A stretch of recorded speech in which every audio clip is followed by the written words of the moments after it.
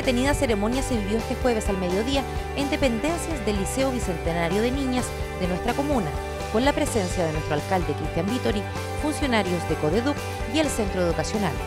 En la ocasión, nuestro edil felicitó al establecimiento por su aniversario, pero también se homenajeó los avances de este liceo de excelencia en diversas materias. Yo creo que este día es un día especial en todo punto de vista, no solo porque se cumplen cinco años, sino que porque es un proyecto educativo que en estos cinco años eh, se ha traducido en una educación de excelencia eh, en el ámbito absolutamente público, como es este liceo municipal, Liceo Bicentenario de Niña.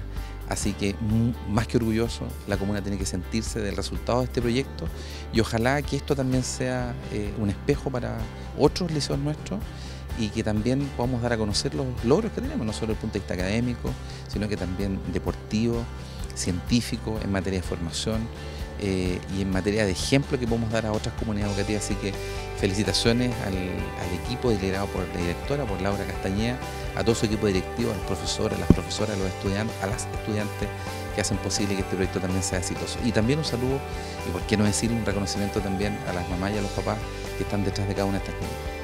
Por su parte, la directora del establecimiento, Laura Castañeda, destacó el proceso lento pero exitoso que ha desarrollado el liceo, apuntando a nuevos desafíos para el 2016. De que estamos muy muy felices en este aniversario y obviamente esto nos plantea más desafíos. Eh, nuestros resultados son buenos, muy buenos para un liceo tan pequeño. Eh, sin embargo, esto nos plantea que tenemos que seguir adelante y seguir mejorando, seguir progresando, que nuestras niñas eh, sientan que pueden hacer muchas cosas más. Y ese es nuestro objetivo. En la ocasión se homenajeó además a un grupo de estudiantes destacadas en diversas ramas deportivas, como también al equipo del taller de robótica, quienes sacaron el primer lugar recientemente en una competencia tecnológica organizada por la Universidad Católica.